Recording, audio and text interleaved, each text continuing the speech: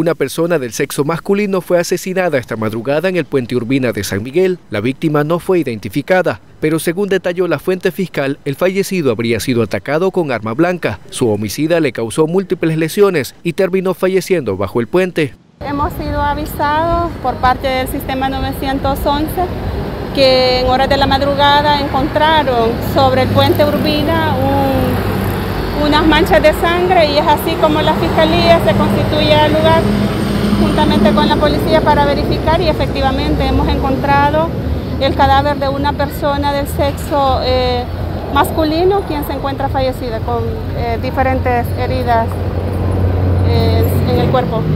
¿A dónde tiene las heridas? En diferentes partes del cuerpo. Sobre el móvil de este crimen no se brindó mayores detalles. Según la fiscal, el caso está en vías de investigación, por lo que se podría entorpecer este proceso que pretende dar con el autor del homicidio. Fíjese que hasta ahorita eh, no tenemos una línea de investigación en sí, únicamente al verificar eh, la información que se nos ha proporcionado, podemos observar que eh, presenta diferentes heridas penetrantes con arma blanca en su cuerpo.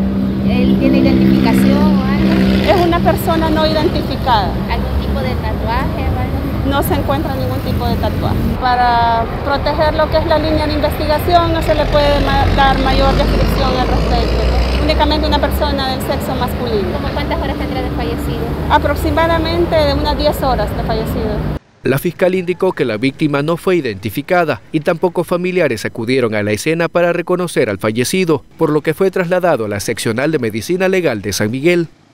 Con imágenes de Manuel Cruz, informó para Noticias TRB Saúl Amaya.